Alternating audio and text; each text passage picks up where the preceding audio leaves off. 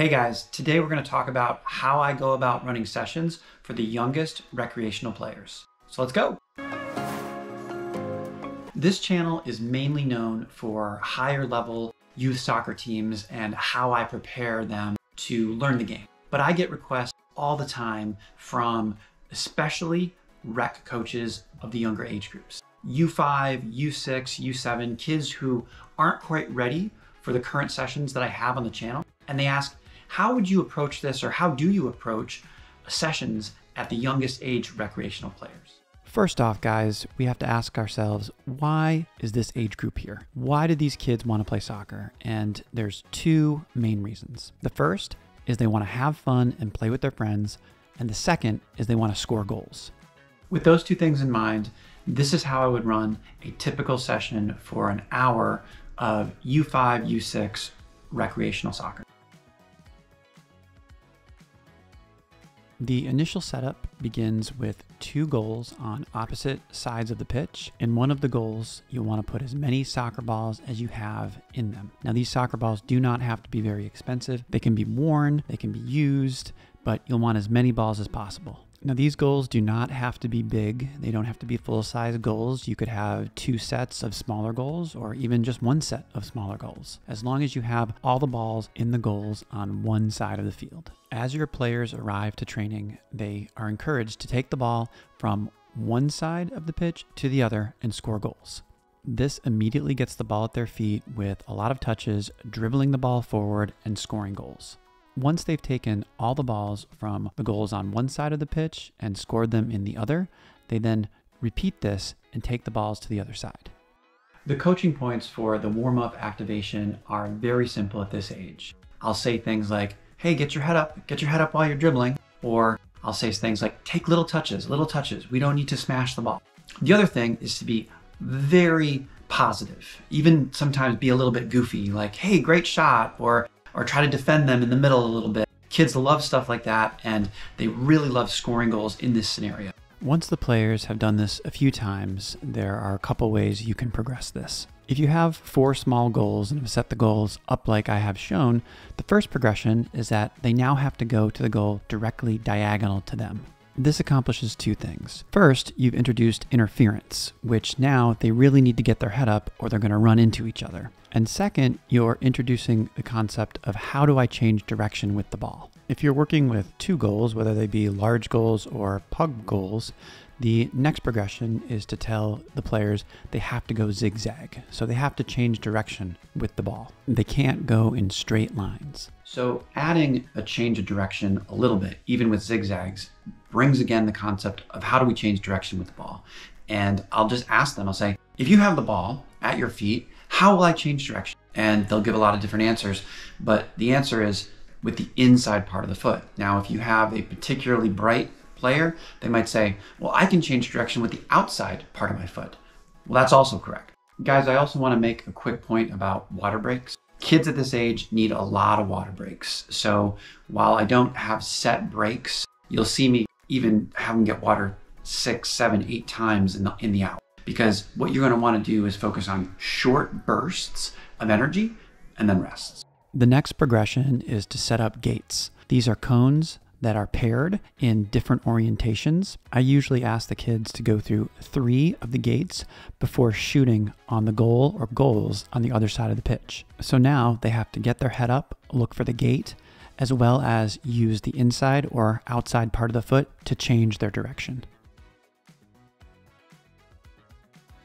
The next set of exercises revolves around what I like to call Soccer Island, which is basically just a circle of cones that's set up as you can see here. The first game that I like to play in Soccer Island is called one, two, three body part. So the idea here is you call out a number one, two, three, four. You can go as high as you want, and each number corresponds to a skill. You can also shout out a body part. So I'll say, all right, guys, dribble, dribble, dribble, dribble, dribble, and they'll all start moving around. And then I'll say number one. I use number one typically as toe touches. And then we'll say elbow, and they'll have to put their elbow on the ball. Kids love this. They go crazy putting their back, their butt, their head onto the ball. You can even get kids to join in and have them shout out the body part. So you'll say, All right, Colin, what body part should we do? And he'll say, leg or knee.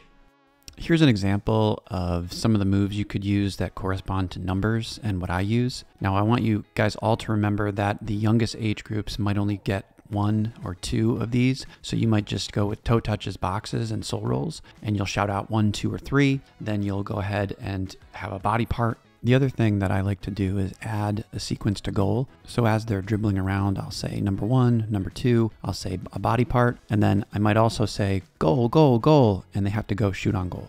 The next thing that I like to do in Soccer Island is play soccer freeze tag.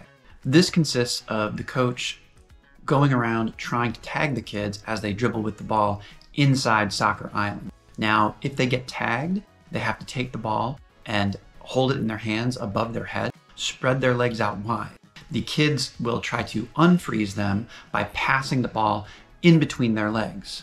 When this happens, they are now unfrozen and can dribble again in Soccer Island. So here again, we're getting lots of touches on the ball. We're getting our head up. Where is the coach? Where is the tagger? we're moving around in a fun game. Now you can progress this to actually having the kids be the tagger. And they love that. They love having to go tag the, the other players. And again, it adds another element of fun to the game. The next thing that I like to do around Soccer Island is races, especially if you got a group that needs to get their energy out. Usually I'll start without the ball, where they have to make two rounds around the island to see who wins. This is progressed to races with the ball, and you have to really coach them not to take huge touches because they'll want to smash the ball to go forward. Take small touches, and then I like to ask them, How do you change direction with the ball? How do we go around the circle with the ball? And again, the answer is the inside part of the foot. Another wrinkle to add here is that at the end of going around the circle twice, they have to shoot in a goal to end the race. For recreational practices, I always like to do some form of one against one. This is my favorite, where you have the four cones set up as shown. The players are lined up behind cones that are diagonal to each other. The coach is in the position noted here, usually kneeling with the balls at his hands. He then rolls the ball out into the middle of the pitch. The players have to go around their corresponding cones in front of them before going to the ball and then going one against one to any of the four goals that I have depicted here. Or if you just had two goals, they have they could go to either goal. The coaching points here include using the inside or outside part of your foot to change direction, working on using a move like a pullback to get away from a defender, shielding, using your back to shield a player from the ball, as well as shooting with the inside part of the foot or the laces when finishing. You can progress this 1v1 into a 2v2, a 3v3, and it works the same. The coach rolls the ball into the middle, and if you have 2v2, the first two players in line have to go around their corresponding cones before they get into the middle and work two against two to one of the goals. This adds an element of having a teammate there and sometimes they use that teammate and sometimes they don't. But now they're attacking together and defending together. So you're beginning to introduce the concept of not just one against one, but two against two or three against three. As I said at the start, kids love to score goals and they love to shoot. And definitely in my recreational sessions, I always have a fun shooting game. This is a game called Hot Shot. It's a pretty simple setup. The coach places one ball on a cone on one side of the field, and the other players take their balls and try to shoot and hit the ball and knock it off the cone. If they do that, they're a hot shot. The coaching points here are trying to use either the inside part of the foot or their laces when striking the ball. The biggest thing we want to avoid here is toe balls. So I don't do a lot of organized small-sided games at the recreational level. So maybe for the last five or 10 minutes, we'll do three against three or four against four. But what normally ends up happening in that situation is they get into a big clump and everybody goes for the ball. You know, at that age, they're really more individualized and, and self-centered. So it's, it's difficult for them to get outside that space. Now, If you have an especially talented group or you have a group that's a little bit more aware of the other players around them, then you could do it for maybe longer. But for the most part, I like the the games, um, the fun shooting games, 1v1s, uh, individual skill stuff as part of my recreational sessions at the U5, U6, even U7 level. So, in summary, guys, you would start off with some warm up activators, which would be 10 to 15 minutes going back and forth to goal with a lot of soccer balls, really focusing on dribbling, shooting, having a good time, even putting up gates, going through those gates. We would then go to Soccer Island after 10 or 15 minutes. Uh, soccer Island is usually 20, 25 minutes, depending on how much you're going to do it and the different games that you're going to play, how many races you're going to do. After that, we would progress on to 1v1s, do that for maybe 10 minutes do the hot shot shooting game for five, maybe 10 minutes, and then end with a 3v3 or a 4v4. There are lots of themes and variations on these things, but in general, this is how I run a recreational session.